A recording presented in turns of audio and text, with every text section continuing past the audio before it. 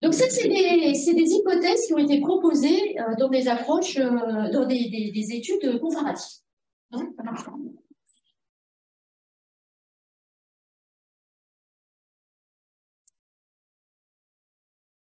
Et ça a été proposé récemment euh, pour être un syndrome, une sorte de syndrome qui existerait peut-être aussi dans les animaux domestiques, comme les cochons, puisque par rapport à leur homologue sauvage, le sanglier, en fait, le cochon, il va se retrouver dans une situation de réduction de mobilité. Euh, moi, je ne travaille pas sur euh, les paresseux, les primates ou les cochons. En général, je travaille sur euh, les petits rouillins, et plus particulièrement la souris domestique. Et en fait, récemment, on a eu un protocole qui m'a suggéré que c'était peut-être l'occasion de faire une sorte de texte, test expérimental de ces hypothèses. Qu'est-ce qui s'est passé? Alors, dans une grande vague d'exotisme, je suis allée à Lyon, à côté du labo, dans une, euh, dans une écurie où on a piégé des souris commensales.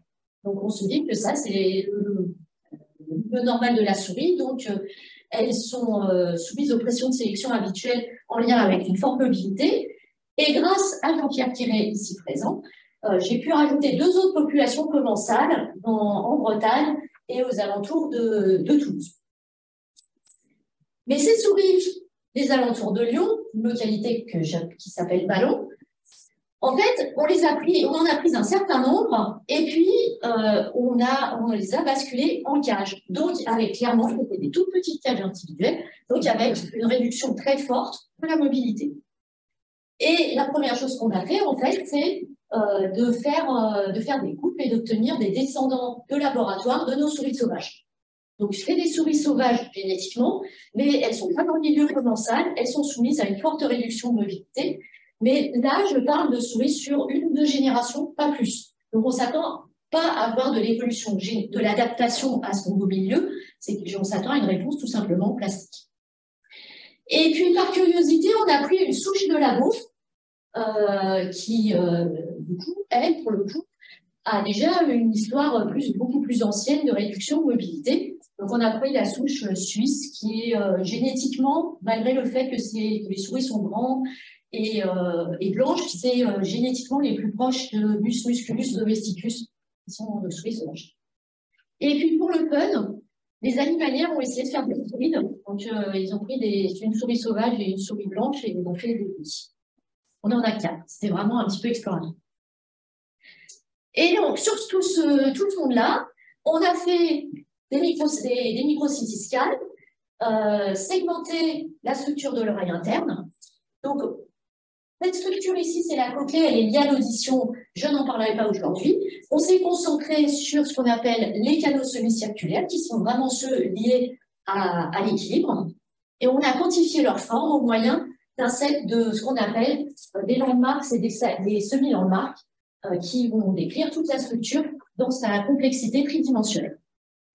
Et puis, je ne m'attarderai pas. Euh, on a fait ce qu'on appelle des analyses de morphométrie géométrique. Donc, on a pris toutes, les, toutes ces différentes oreilles, on les a superposées de manière optimale, et puis on a fait une ACP sur les coordonnées résiduelles, les coordonnées alignées, pour avoir un espace des formes et pouvoir étudier la divergence, euh, enfin, les, les, patrons euh, morphologiques. Alors, la première chose, ça a été de regarder euh, la morphométrie géométrique sépare d'un côté la forme et de l'autre côté la taille de la structure. Donc, on a d'abord regardé la taille de l'oreille, ce qu'on appelle la centroïde, la taille au centroïde. C'est une taille globale de l'objet. Et ce qu'on voit, c'est que les souris suisses avaient des oreilles plus grandes que toutes les souris sauvages, et que les hybrides étaient plus proches, euh, également une grande taille comme, leurs parents suisses. Et euh, c'est quelque chose, et qu'on avait aussi un peu l'impression que les ballons donc les descendants de laboratoire de celle-ci, étaient un tout petit peu plus grands. Donc déjà là, une signature peut-être de la mise en laboratoire. Et cette taille de l'oreille reflète bien la taille de la souris, ici mesurée euh, par la longueur de la mandibule, ça marche aussi avec le poids de la suite. Donc, une signature de, taille. Sur la forme, cette fois-ci, de l'oreille interne, Vous avez ici l'espace des formes, premier axe, euh, premier axe euh, de l'ACP, deuxième axe de l'ACP. En rouge, les Suisses, je pense qu'il n'y a pas besoin de commenter. Le premier signal, c'est vraiment que les souris suisses ont une morphologie de l'oreille complètement différente de toutes les souris sauvages. Au point que mon collègue Renaud Lebrun, qui a travaillé sur des oreilles de primates, pour lui, c'est presque l'ordre de divergence observée d'habitude entre des genres différents. Pas de recouvrement, vraiment quelque chose de très fort. Après, on peut voir euh, que contrairement à la taille, les hybrides sont plutôt avec leurs parents sauvages, que les souris, les différentes populations commensales sont plus ou moins dans la même zone de l'espace morphologique, et que les descendants laboratoire des souris sauvages, les ballons là, sont un petit peu décalés et sont significativement différentes de leurs euh, parents encore commensales. Donc, à ce stade, on peut valider l'hypothèse qu'on euh, a bien une différence entre les souris élevées en laboratoire et les souris sauvages. Alors après, les différences sont tenues. Ici, vous avez la reconstruction entre bleu foncé, les bleus clairs, c'est les ballons piégés sur le terrain. Les bleus foncés, c'est les ballons euh, élevés en laboratoire. Et vous voyez que ça se distribue un petit peu sur les différents canaux. Et si on compare cette fois-ci avec les Suisses, on a presque l'impression d'une différence un petit peu inverse, et ça se voit. Les Suisses en labo divergent dans ce sens-là, tandis que les ballons là divergent dans l'autre sens. Donc, on n'a pas euh, de convergence morphologie de laboratoire. On a une différence des souris élevées en laboratoire par rapport aux sauvages, mais on n'a pas une convergence, un morphotype de laboratoire. Voilà, et ça j'en avais déjà parlé, les hybrides ont donc une dominance vers le phénotype sauvage. Alors, on aurait pu se dire, hein, cette différence des Suisses, c'est déjà parce qu'elles sont euh, beaucoup plus grandes et que du coup, ça soit juste la différence de taille qui entraîne une différence de forme. Donc, on a regardé la forme en fonction de la taille de la souris et on se rend compte qu'en fait, euh, on a bien les Suisses qui sont plus grandes et qui sont différentes en forme, mais si on regarde les autres souris sauvages, on n'a absolument aucune relation taille-forme qui suggère que la différence de forme n'est pas due à une relation allométrique. Et chose qui, montre, qui, suggère également que la différence de forme n'est pas due juste à la taille, c'est que les hybrides ont une taille, une grande taille comme les parents suisses, ont une forme similaire euh, aux, parents sauvages. Et ça, ça montre un découplage entre euh, la signature de l'hybridation sur la taille et sur la forme. C'est quelque chose qu'on trouve aussi sur la forme de la dent ou la forme de la mandibule. Donc la divergence de forme n'est pas due à une simple relation allométrique. Maintenant, si on regarde les niveaux de disparité, euh, c'est ballot, le titre est coupé. Voilà ce que ça donne. Donc ça, c'est la disparité, la disparité de sport, donc le degré de variance interindividuelle, un petit peu ce qu'on a vu et qu'on a beaucoup discuté pour le microbiote, mais transposé à l'échelle de la enfin, sur la morphométrie. Et là, on se rend compte, ça, c'est toutes les souris commensales, euh, les descendants de laboratoire, les Suisses et les hybrides. Et là, on se rend compte que euh, les Suisses sont moins variables, moins disparates que les commensales. Et c'est également vrai, les, descendants de laboratoire sont moins variables que leurs parents sauvages. Donc là, en fait, l'hypothèse qu'on aurait une augmentation de disparité dans le laboratoire à cause d'une baisse des pressions de sélection n'est pas du tout validée, c'est plutôt l'inverse. Alors, on s'est finalement posé la question pourquoi?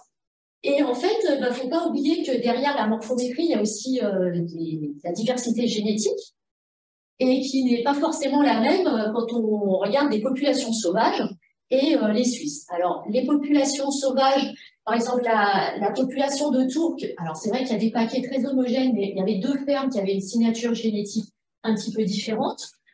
On a aussi regardé chez la population lyonnaise de Ballan en fait, on s'est rendu compte qu'il y avait euh, deux paquets génétiques avec une sorte de renouvellement temporel euh, à l'échelle de trois ans. Les souris euh, du début sont plutôt là et les souris de la fin sont plutôt là.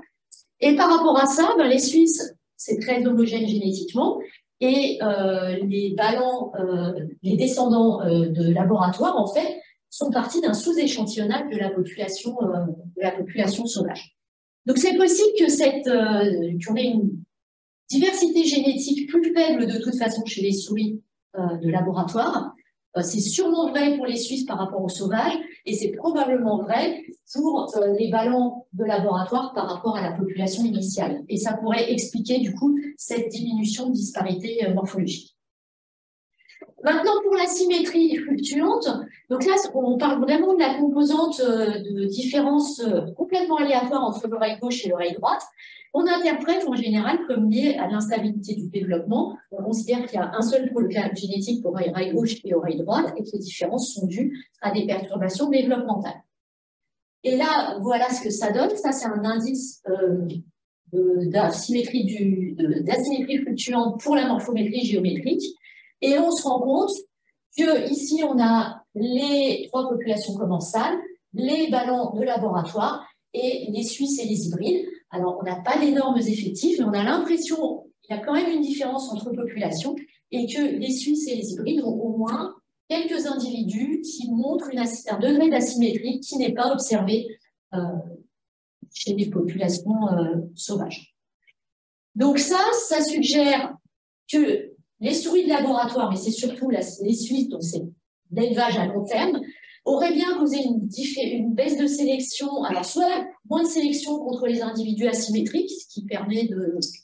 on les observe, euh, ils n'ont pas de problème en cage, donc euh, ils ne se font pas croquer par un chat, euh, et possiblement en fait une baisse de stabilité du développement chez cette souche, cette souche de laboratoire. Donc, pour reprendre un petit peu les hypothèses de départ, la première hypothèse, c'était qu'on attendait une divergence morphologique en lien avec euh, la, baisse de mobilité. Ça, c'est validé. Euh, les souris de laboratoire sont différentes des souris sauvages. C'est particulièrement vrai pour euh, la souris suisse, où là, la différence morphologique est très, très marquée. Alors, mes collègues, c'est censé être une souche non consanguine, la souris suisse. Mais quand on fait vraiment, c'est-à-dire qu'il est maintenue avec un pédigré qui minimise les apparentements. Mais quand on fait une petite recherche, le stock initial, j'ai trouvé que c'était deux mâles et euh, sept femelles de souris euh, albinos qui ont été isolées en 1920, re-isolées en 1926. Donc ça veut dire qu'au début, il y a eu un énorme coup d'étranglement initial et en fait 100 ans d'évolution en isolement quasi complet par rapport, euh, par rapport à la souris sauvage. Donc, je pense que là, vraiment, on a un effet de relaxation des pressions de sélection, plus euh, de dérives génétiques très fortes qui conduisent, qui peuvent expliquer cette différence morphologique marquée. Euh, du coup, en fait, si on interprète que cette divergence morphologique est due beaucoup à de la dérive et à de la relaxation de pression de sélection, on s'attend un peu à de l'accumulation d'allèles euh, défavorables, pas vraiment délétères, mais pas favorables. Et ça, c'est, euh, ça pourrait expliquer le fait qu'il y ait une dominance du phénotype sauvage chez les hybrides. En fait, le phénotype euh, suisse, c'est des, ça serait peut-être dû à des allèles qui, sont, pas, qui, qui sont minoritaires euh, chez les sauvages parce qu'ils sont défavorables. En ce qui concerne les descendants de laboratoire, donc là, on parle, c'est un contexte complètement différent en termes d'échelle de temps. On n'a qu'une ou deux générations d'élevage en laboratoire. Donc, on s'attend plutôt à une signature de plasticité phénotypique. C'est une structure minéralisée très très tôt, l'oreille interne, euh, à la naissance quasiment, donc euh, possiblement qu'il y ait des effets maternels euh, durant la croissance in utero. C'est quelque chose qu'on, pour l'instant, on a du mal à identifier. Ce qui est sûr, c'est que on n'a pas de convergence entre les Suisses et les ballons élevés en laboratoire, donc on n'a pas un phénotype de laboratoire. Ce qui m'a aussi intrigué, c'est que quand on compare la signature euh, morphologique qu'on a entre les. Quand on passe du parent sauvage au, parent, au, ballon de laboratoire, c'est un petit peu similaire à ce qu'on observe quand on passe du sanglier au cochon. Donc là, une signature de domestication. Est-ce que la mise en labo des, des, ballons là bah, signe une signature plastique un petit peu similaire à ce qu'on observe avec la domestication? Ça reste complètement ouvert et ça pose aussi la question d'une éventuelle fonctionnalité ou non-fonctionnalité de cette différence morphologique. C'est très difficile à évaluer euh, sans expérimentation. Euh, pour ce qui concerne la disparité, l'hypothèse d'une augmentation de la de la disparité en laboratoire n'a pas été validée et c'est même plutôt l'inverse qu'on observe. Je pense que ça pointe un maintien de la canalisation chez les souris de labo et puis surtout un impact de la diversité génétique sur cette mesure de disparité morphologique. Et ça pose la question de comment interpréter des comparaisons de populations naturelles euh, si jamais elles ont des niveaux de variation génétique euh, différents. Et enfin, en ce qui concerne la symétrie, là, pour le coup, l'hypothèse est validée. Alors, c'est des résultats un petit peu fragiles. La symétrie fluctuante, on aurait besoin de, de meilleurs effectifs pour vraiment blinder le résultat. Mais du coup, on a quand même l'impression d'une tendance chez les Suisses et les hybrides à avoir des individus plus asymétriques. Et donc ça, ça pourrait bien être la signature aussi d'une relaxation des pressions de sélection. Donc au total, on a validé euh, deux sur trois de nos, des hypothèses qui avaient été émises sur, euh, par les, les, études euh, initiales. Et je voudrais, euh, ce qui est pour moi, ce qui est euh, assez marquant, c'est que c'était une structure qui était euh, réputée phylogénétiquement conservée, et pourtant là, on montre une réponse extrêmement rapide à une relaxation des pressions de sélection. On a une, évolution majeure en moins de 100 ans, enfin en 100 ans, euh, chez les souris de labo, et on trouve même une signature plastique à l'échelle ou deux générations. Donc ça montre que c'est une structure qui est quand même très évolvable. Et puis pour conclure, euh, ça pose la question euh, de la représentativité des soupes de labo euh, pour des études médicales de puisqu'elles sont même utilisées pour des études de l'audition, de l'équilibre et plein d'autres études. Et c'est une question qui se pose de plus en plus souvent. En fait, plus on regarde les souris de labo, plus on se rend compte à quel point elles ont divergé. Peu importe. Voilà, je vais conclure là-dessus. Vous remercier de votre attention et remercier encore une fois tous mes collaborateurs, surtout Léa en M1 qui avait fait euh, l'essentiel des, analyses et René Lebrun à l'ISEM, le spécialiste de l'oreille interne et qui a assuré euh, la morphologie. Voilà, merci d'avoir.